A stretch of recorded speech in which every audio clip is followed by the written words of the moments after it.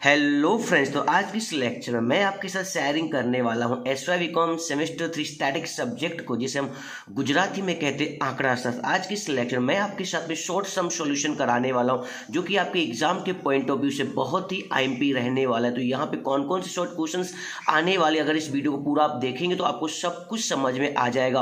और मैं आपको फिर से एक बार सजेशन देना चाहूँगा, ऐसे तो मैंने latest paper style and most IMP question already upload कर दिए। आप हमारी प्ले में जाके चेकआउट कर सकते और एग्ज़ाम रिलेटेड जो जो सम आने वाले उसकी रिगार्डिंग भी मैंने सभी वीडियो अपलोड किए। प्लेलिस्ट में जाके चेकआउट कर सकते हैं। मेरे पॉइंट ऑफ़ व्यू से आपको तैयारी करना चाहिए। यूनिट नंबर फोर की, जहाँ पे चैप्टर नंबर सिक्स बहुत ही इजी है। जहाँ पे आज मैं आपको चैप्टर नंबर सिक्स के शॉर्ट सम कैसे आते हैं, वो भी एक्सप्लेन करने वाला और यूनिट नंबर थ्री रेडी करना चाहिए। और यूनिट नंबर थ्री के अंदर जो मैंने आपको लॉन्गेस्ट सम कराए ना, उसी के अंदर शॉर्ट सम कवर हो चुके हैं। फिर भी आपको और भी शॉर्ट सम चाहिए तो कमेंट बॉक्स में मुझे राइट करके बताइएगा। तो आपको यूनिट नंबर थ्री और यूनिट नंबर फोर की तैयारी करना। ध्यान रखना आपको, जो भी चैप्टर आप रेडी करेंगे, उसकी थियरी भी रेडी करना, उसका आपको सम भी रेडी करना और एक्स्ट्रा कुछ तैयारी करना। बिकॉज़ आपके बीच में एक संडे आ चुका है तो आप यूनिट नंबर वन को भी रेडी कर सकते हो। इस तरीके से अगर आप तैयारी करेंगे तो डेम श्योर के साथ कहता हूँ, आपके एग्ज़ाम में मैक्सिमम रिज़ल्ट आने वाला। स्टेट से आपको डरना नहीं और मैं चाहता हूँ, अगर आप वीडियो पहली बार आए तो वीडियो को लाइक एंड शेयर करना ना भूलें।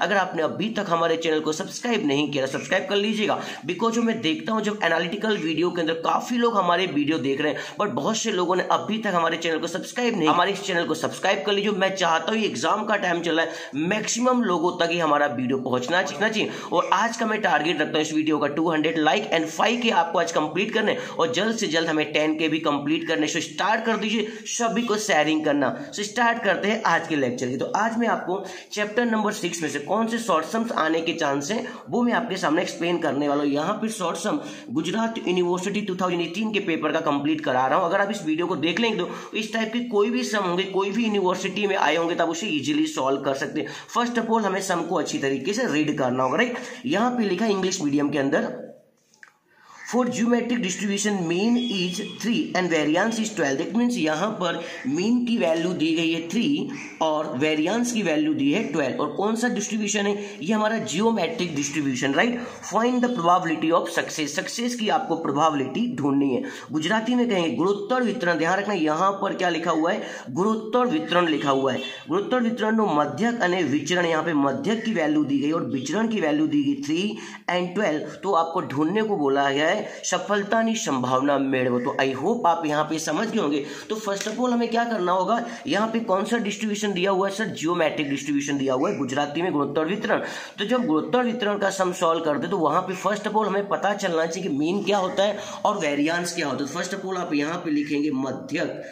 आई होप आप समझ गए, जिसे हम इंग्लिश में कहते मीन तो यहाँ पर जियोमेट्रिक डिस्ट्रीब्यूशन के अंदर मध्य को किसके द्वारा इंडिकेट किया जाता है? मध्य को इंडिकेट किया जाता है क्यू अपॉन पी के द्वारा। राइट ना? तो यहाँ तक तो आपको समझ में आ चुका होगा। सेकेंड हमारे पास कौन सी वैल्यू थी? हमारे पास था वेरियंस यानी कि विचरण था। तो यहाँ पर आप इजीली राइट कर दीजिए विचरण और इंग्लिश में इसे हम कहेंगे वेरियंस आई होप यहाँ तक आपको समझ में आ रहा होगा।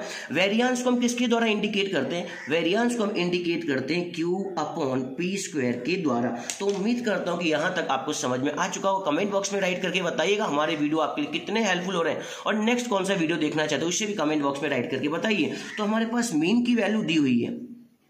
मीन यानी कि माध्य कितना था? हमारे पास थ्री था। तो आप यहाँ पे राइट कर दीजिए। मीन के प्लेस पे आपने थ्री रख दिया। एंड विचलन दैट मीन्स वेरियंस की वैल्यू भी हमें दी गई है। कितनी दी हुई है? ट्वेल्व दी गई। तो उम्मीद करता हूँ कि यहाँ तक आप समझ गए। अब हमें क्या करना है? वेरियंस की हेल्प लेनी है और हमें सम को सॉल्व करना है। किस तरीके से हेल्प लेना है, वो आपको बहुत सी ध्यान से समझना होगा। क्या लिखा है? क्यू अपॉन पी स्क्वायर लिखा है ना? तो मैं चाहूँ तो इसका फॉर्म चेंज कर सकता हूँ। क्यू अपॉन पी स्क्वायर की जगह पर हमें पी क्यू पर स्क्वायर है ना? तो पी को टू टाइम लिख सकता हूँ ना? P into P P square बोलूँ या फिर पी इंटू पी बोलूँ? दोनों की मीनिंग क्या रहेगी? सेम रहेगी। यहाँ पे मैंने वेरियंस का फॉर्म चेंज कर दिया है और वेरियंस की वैल्यू कितनी थी? ट्वेल्व तो आप यहाँ पे राइट कर दीजिए। ट्वेल्व राइट ना तो अभी आप ध्यान से देखिए, क्या आपके पास किसी की वैल्यू गिवन है क्या? क्या आपके पास क्यू अपॉन पी की वैल्यू गिवन है क्या? ये सर हमारे पास क्यू अपॉन पी की वैल्यू दी हुई है। कितनी है? थ्री है। तो क्यू अपॉन पी के प्लेस पे आप कितना राइट कर सकते हैं? थ्री राइट कर सकते हैं ना? तो यहाँ पे सॉल्व कर दीजिए आप। क्यू अपॉन पी के प्लेस पे आपने राइट कर दिया। थ्री अपॉन में पी इज़ इक्वल टू के आगे आपका ट्वेल्व जो कि आपका क्वेश्चन था। अभी क्या करना है? पी जो है ना डिवाइड में। सामने किया तो क्या हो जाएगा? इन में हो जाएगा।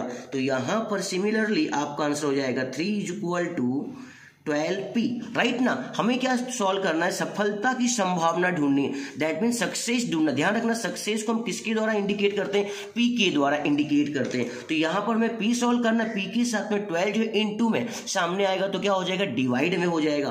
तो यहाँ पर मैं राइट कर सकता हूँ। थ्री अपॉन में twelve is equal to P table तो आपको आते ही होंगे।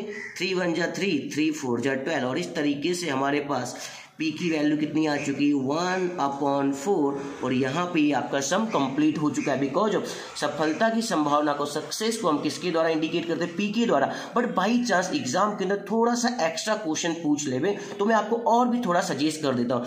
सफलता की जगह पे निसफलता लिखा होता सक्सेस की जगह पर फेल लिखा होता तो फेल को हम किसके द्वारा इंडिकेट करते क्यू के द्वारा. तो क्यू का आंसर कैसे सॉल्व करना आपको? आराम से. यहाँ पे नीचे कितना लिखा है? चार. ऊपर कितना लिखा है? चार में से एक चला गया.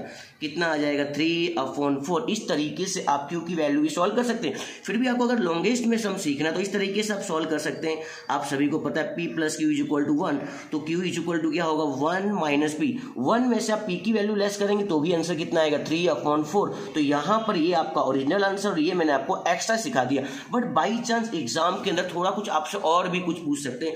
आपसे पूछ ले इसी सवाल के अंदर कि प्राचल सोल्व करो। जिसे हम इंग्लिश में कहते हैं, पैरामीटर सॉल्व करिए तो ध्यान रखिएगा, हम कौन सा डिस्ट्रीब्यूशन सीख रहे हैं? Geometric distribution. गुजराती में कहते हैं गुणोत्तर वितरण का प्राचल कौन होता है? प्राचल होता है पी। तो पी की वैल्यू कितनी थी? One upon four. और इस तरीके से आपका सम कंप्लीट हो जाएगा। तो उम्मीद करता हूँ यहाँ पे आपने पूरा वीडियो देख लिया होगा। और चैप्टर नंबर सिक्स में कोई भी शॉर्ट सम आप आएगा तो आप उसे इजिली सॉल्व कर सकते राइट और यहाँ पे ध्यान रखना, इसी की एक थियरी भी एग्ज़ाम में आने वाली उसे भी आप याद कर लीजिएगा हंड्रेड परसेंट थियरी आएगी। एक सम और देख लेते हैं इसी चैप्टर का। तो यहाँ पे आ चुका है दूसरा सम अब ये किसका आ चुका है? ऋण द्विपदी वितरण, जिसे हम इंग्लिश में कहते हैं नेगेटिव वाइनोमियल डिस्ट्रीब्यूशन सॉल्व कर लेते हैं। सवाल कोई बहुत ही आसान सवाल है, ध्यान से देखना आपको। पहले सम को रीड कर लेता हूँ।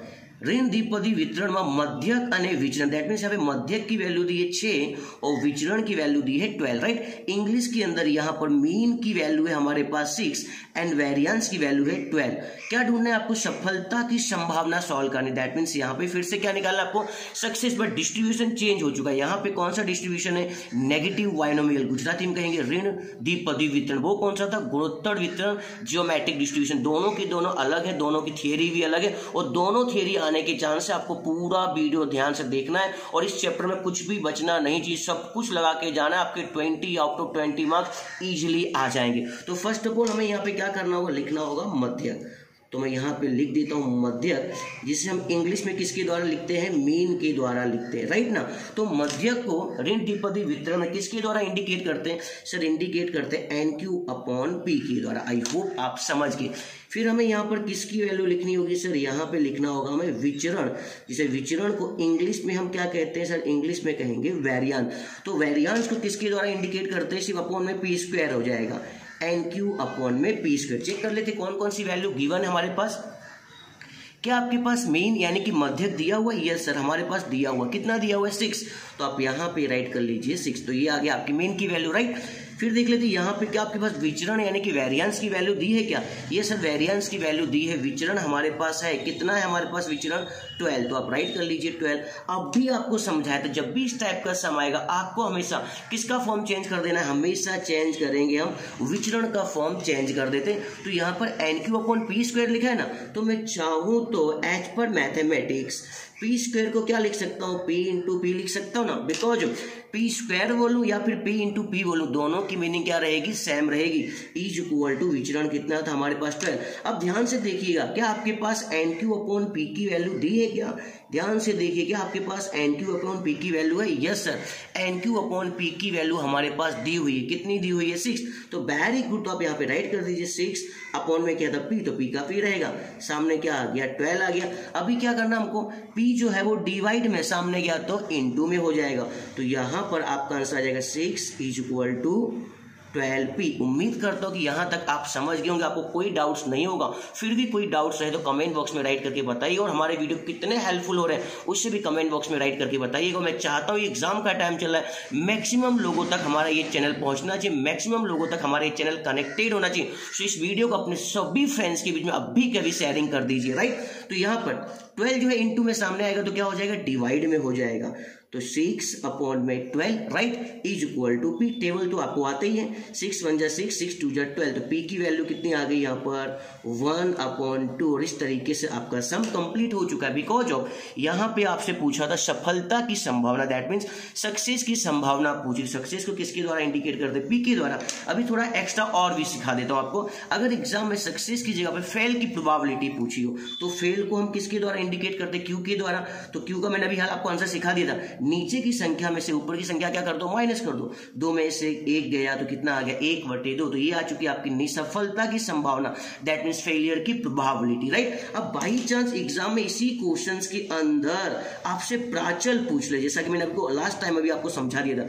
प्राचल को इंग्लिश में क्या कहते हैं? पैरामीटर कहते हैं। तो आपको याद होना चाहिए, ऋण द्विपदी वितरण के प्राचल कौन कौन से होते हैं? आप सभी को पता होना चाहिए। प्राचल होते हैं इसके एन और पी तो हमारे पास पी की वैल्यू तो दी हुई है। कितनी है?